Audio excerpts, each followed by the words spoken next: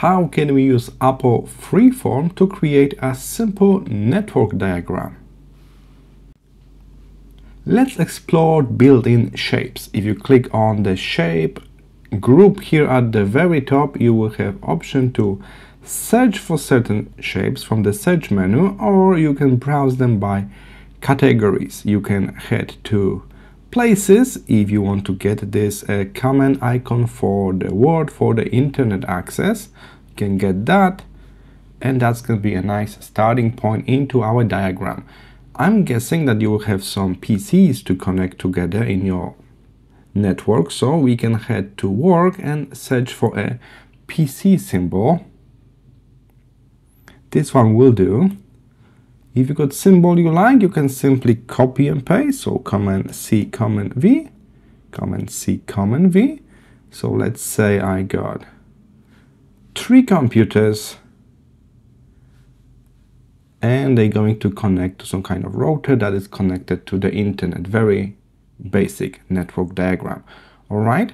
Unfortunately, for the router, we need to kind of build the icon ourselves. So we can head to geometrical shapes we can use something like that.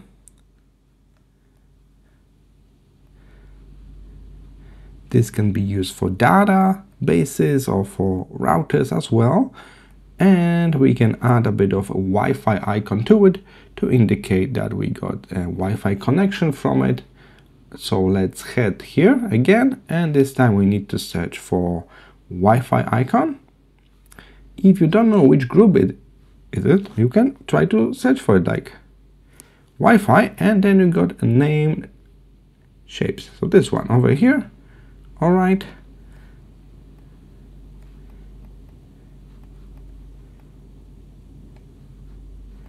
If you select two shapes together like that you can option to group them.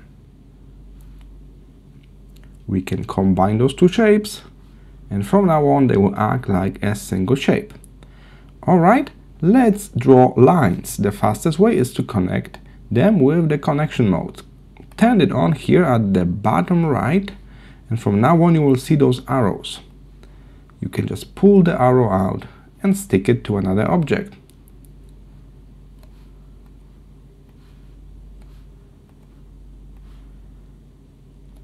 Alright, if you prefer your lines to kind of bend like this, you can adjust that setting by clicking on the line. So click on the line, change how they will connect. Okay.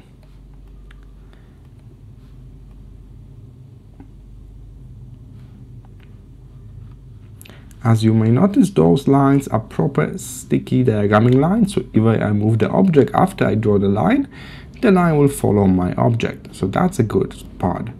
All right and now we need to connect the router to the internet as well. So I draw one more line here. And that's our simple network diagram. You can make some color adjustments if you like.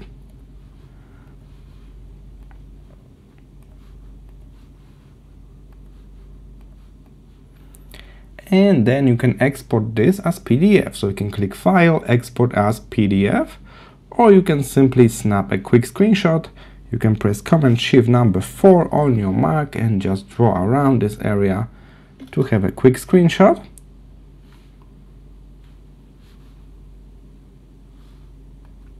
Or you can even use this built-in share button to share this board using Apple services. Alright, so that's how easy it is to draw a simple network diagram in Apple Freeform. Keep in mind, we could import additional shapes or shapes following certain standards to this program, just add them as graphics, and then we can also do it this way with a proper shape if you want a certain shapes from a certain standard. Alright, thank you for today. See you in the next one.